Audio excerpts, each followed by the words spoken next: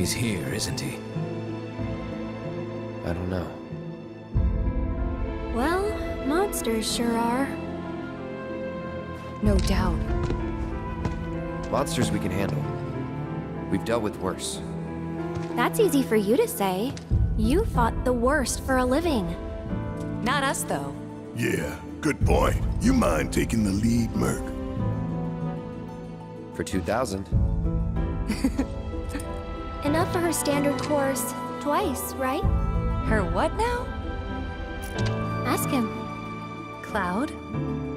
Uh, uh... Forget it. You guys need to focus. Wasn't all that long ago that this place was...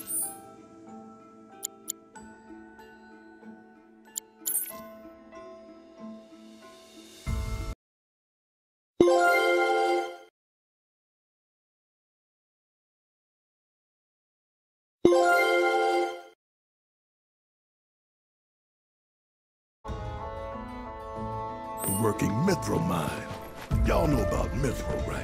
Hmm. Not anything specific, no. It's pretty tough. And beautiful besides. Right on both counts. But what you might not realize is just how rare it is. Never been found outside of these caves, in fact. And I ought to know. Worked in a mine myself back in the day.